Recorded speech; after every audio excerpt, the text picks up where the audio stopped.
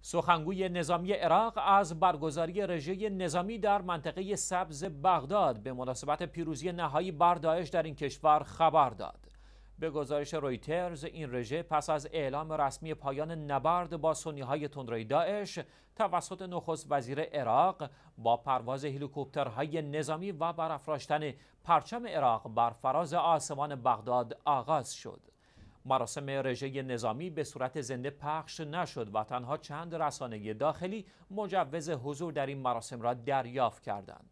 جت های جنگنده با پرواز در آسمان بغداد رژه نظامی برگزار کردند. حیدر العبادی نخست وزیر و فرمانده کل نیروهای مسلح عراق پس از آزادسازی مناطق مرزی عراق و سوریه پایان مبارزه با گروه داعش در عراق را به صورت رسمی اعلام و این روز را به همین مناسبت به عنوان یکی از تعطیلات رسمی عراق اعلام کرد.